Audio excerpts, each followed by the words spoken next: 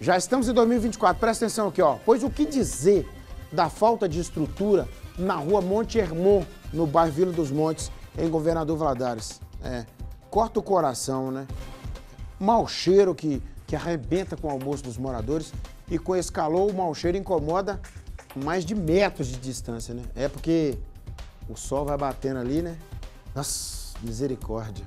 A Alessandra Garcia, ela e Flávio Mota foram conferir, né, o que a população chama de descaso.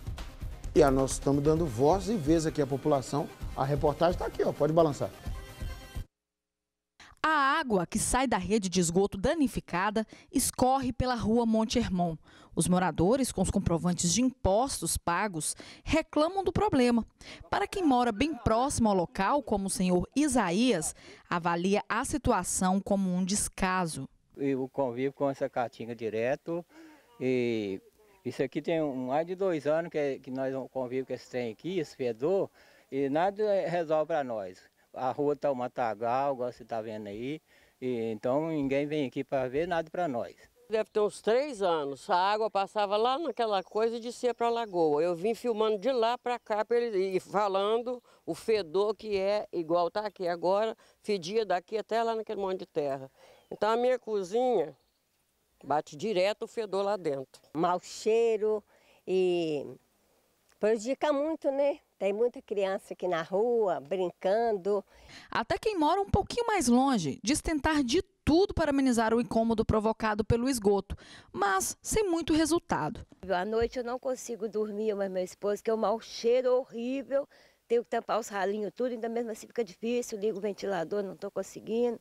Imagine quem mora aqui mais próximo, né? Eu ainda moro a terceira, quarta casa para cima. Que bom que a televisão ainda não evoluiu para que você aí em casa conseguisse sentir esse mau cheiro que a gente neste momento aqui sente aqui no bairro Vila dos Montes. Olha só, a população aqui tem que conviver com esse esgoto 24 horas vazando aqui nesse trecho e é uma situação que os moradores afirmam que não é de agora. Já mandei isso para lá, né? Mas ah, para poder vir aqui, só veio, veio mesmo olhar aqui mas só olhou só e, e deixou. Falou que quem tinha que resolver aqui é o caminhão. Mas que caminhão é esse que não chega aqui? Isolado, humilhado, uma criança com esse fedor o dia inteiro com esse sol quente que está fazendo, isso vai direto para o pulmão. Eu tenho problema sério de saúde, sabe? Então tem hora que lá em casa eu não consigo comer por causa do fedor. 11 horas, meio-dia, é insuportável. Os moradores também alertam para um outro problema que vai além dos perigos para a saúde. O esgoto vai direto para a área de lagoa e nascente, que fica às margens da rua. Ela estava descendo a rua direta, né?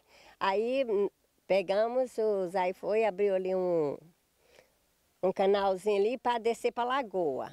Aí fica muito difícil, né? Quando está chovendo, então, fica pior ainda, né? Fica mais mais terrível para poder descer para a rua abaixo aqui e sair. Uma lagoa bonita dessa, tá cheio de, de lixo, cheio de água podre, entendeu? A gente fica triste por isso, porque é natureza, né?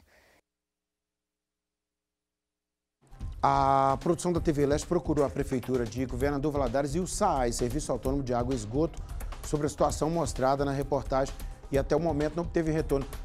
Mas não teve retorno? Como assim? Não tem ninguém para responder isso para a gente, não? Ou, ou, ou... Pergunta para mim, a Dani, aí, fala no intercom comigo aqui. Estou sem comunicação com vocês aqui. Não, porque nós estamos falando da reclamação de moradores, né? De Vila dos Montes. Aliás, apareceu meu amigo Isaías ali, viu? Obrigado, viu, Isaías? É, quem vai, vai responder sobre isso aí? Estamos no aguardo do retorno. Ah, ok. A produção falando comigo aqui. É, uma são duas coisas distintas. Responder o que a equipe de produção pede, né? Porque o protocolo de jornalismo diz isso. Você, quando exibe uma reportagem dessa envergadura, e o Balanço Geral vem fazendo isso aqui já há muito tempo, né? Desde que eu estou aqui, a gente tinha até o quadro chamado Balança Meu Bairro, a gente aplicava cartão aqui na cor amarela, na cor verde, na cor vermelha. E, e se fosse aplicar o cartão aqui, seria o cartão vermelho, naturalmente, né? E sempre que a gente exibe alguma reportagem que está relacionada a algum órgão público, é por protocolo que esse órgão responda, né? seja ele da esfera federal, estadual ou municipal, de qualquer município que seja ele, dentre os quais o governador Valadares, né? que é o município competente para responder pelo bairro, pelo bairro Vila dos Montes, que aparece aí, com essa vergonha desse esgoto a céu aberto e reclamação dos moradores. Agora, a gente espera a resposta por protocolo, mas claro, a resposta principal é a intervenção do município lá neste local para cessar o problema, né? O problema que originou essa reclamação. É, não, não necessariamente responder a nós outros, né? Mas responder à população, aí é cidadania. Aí é cidadania e é, é comprometimento com a administração pública, né? Isso a gente espera. É tempo que falar, né? É. E eu sou cidadão de governador Valadares também. Além disso, né? Recebi uma honraria da Câmara que me faz comendador da cidade. Então eu tenho voz em duplo, como cidadão, como comendador e como homem da imprensa, né? É. Os moradores continuem contando conosco e o município, né? Quem for responsável por essa resposta é o SAAI, a Secretaria de, de, de, de Serviços Urbanos, é isso, ô, Felipe? Foi mencionado esgoto, né? Então tem a ver com o SAAI, né? É, o pessoal responder aí, né? Responder a população, pelo menos, né? Por favor, né? Vem comigo aqui. É, e algum morador lá, se tiver feito alguma intervenção aí, durante a hora que eu estava fazendo esse comentário aqui, manda a foto para mim aí, Isaías. Manda o vídeo aí, ô Nicomé, desarrumaram aqui ou não arrumaram aqui. Tá bom, fi.